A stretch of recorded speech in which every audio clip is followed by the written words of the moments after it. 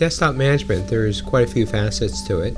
You know, number one is uh, the patching. So managed service providers like to patch the desktop because that's really the entry point for phishing, ransomware, identity theft. So we try to patch that, and there's um, quite a few different ways to patch now. You patch the operating system, which means you patch your Windows 10, Windows 7 computer.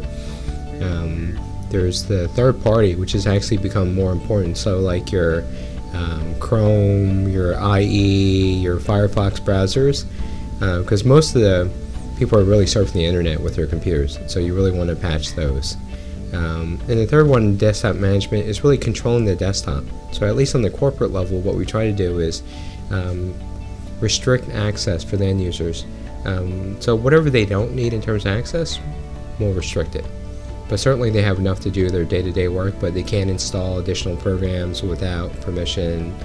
Um, so that prevents spyware. So if you accidentally click on something but you don't have permission to install, there's a good chance that that spyware, spyware won't install as well.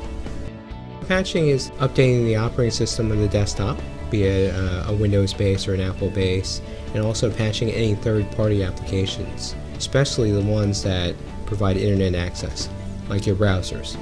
Very important to update Chrome, your Firefox, um, and then Adobe. Adobe is infamous for all the security exploits they've had. Desktop management really benefits people connected by a network. So it, it could be a small office, 10 computers, 20 computers. If you're connected, then you really want to manage that environment because it's very easy to spread ransomware or you know viruses and whatnot. Um, less so if you're all remote users just using email in Office 365. It's harder because uh, if you're working alone, most you're going to affect is any other computers on your home network. Um, so to a lesser degree, but certainly if you're in a corporate environment, um, in a shared environment, you definitely want to control that. If you'd like to learn more about desktop management, please read our blog or white paper at linkhigh.com.